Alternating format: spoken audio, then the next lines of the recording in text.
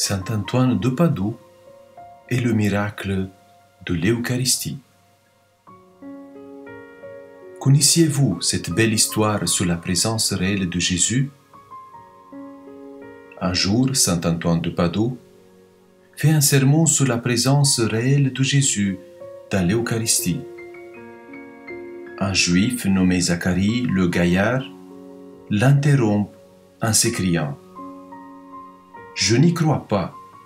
Je voudrais voir. Saint Antoine de Padoue le regarde alors calmement et lui demande la chose suivante. Si ta mule se prosterne devant l'Eucharistie, croiras-tu? Zacharie lui répond, pour sûr. Avec malice, il ajoute même ceci. Pendant deux jours, je ne donnerai rien à manger à ma mule. Le troisième, je l'amènerai ici sur le champ de foire. On mettra d'un côté de l'avoine fraîche et de l'autre, tu lui présenteras l'hostie. Si elle refuse son avoine et s'agenouille devant l'hostie, je croirai. Saint Antoine lui répond alors, Marché conclu. Toutefois, que l'on sache ceci si la mule ne s'agenouille pas, ce sera à cause de mes péchés.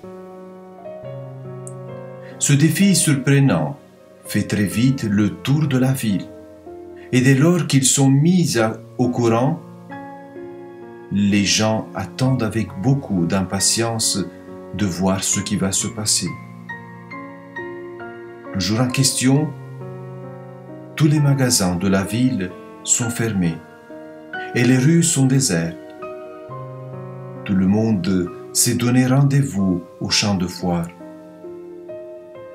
Zacharie apparaît alors, tirant sa mule qui a jeûné.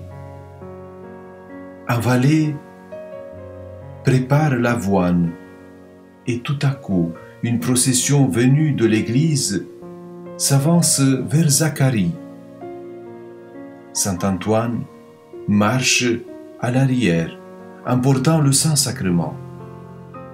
Lorsqu'il arrive à la hauteur de Zacharie, ce dernier place sa mule exactement entre l'avoine et l'hostie et la lâche. On n'entend pas une mouche voler. Tous les regards sont braqués sur l'animal. Que va-t-il se passer? Que va faire la mule? Eh bien, figurez-vous que la bête n'hésite pas. Sans même regarder l'avoine, elle s'avance vers l'hostie, s'arrête à distance respectueuse, s'agenouille devant l'ostensoir et s'immobilise dans une sorte d'adoration. Ses grands yeux noirs fixés sur l'hostie.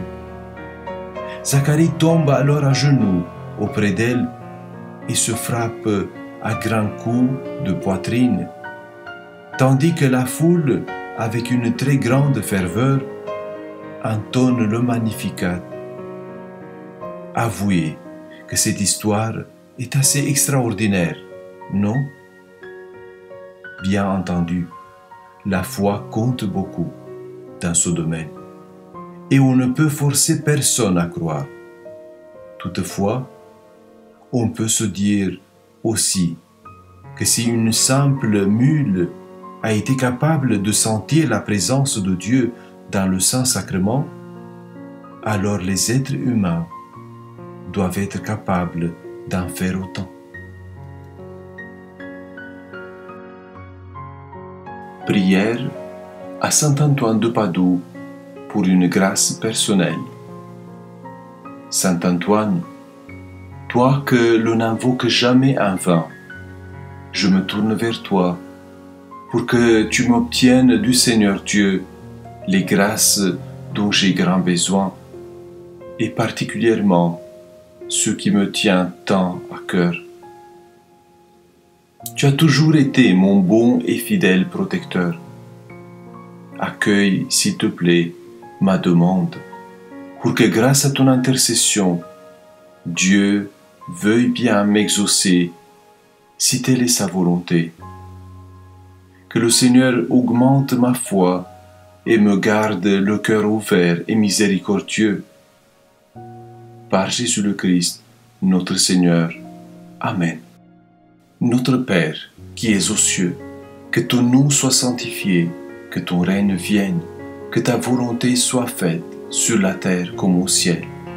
Donne-nous aujourd'hui notre pain de ce jour. Pardonne-nous nos offenses, comme nous pardonnons aussi à ceux qui nous ont offensés. Et ne nous laisse pas entrer en tentation, mais délivre-nous du mal. Car c'est à toi qu'appartiennent le règne et la puissance et la gloire pour les siècles des siècles. Amen. Je vous salue Marie, pleine de grâce. Le Seigneur est avec vous. Vous êtes bénie entre toutes les femmes, et Jésus, le fruit de vos entrailles, est béni. Sainte Marie, Mère de Dieu, priez pour nous pauvres pécheurs, maintenant et à l'heure de notre mort. Amen. Gloire au Père, et au Fils, et au Saint-Esprit, au Dieu qui est, qui était et qui vient, pour les siècles des siècles. Amen.